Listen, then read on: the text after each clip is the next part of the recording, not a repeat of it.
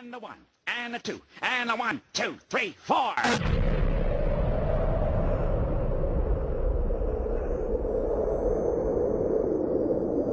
Here is my contribution to your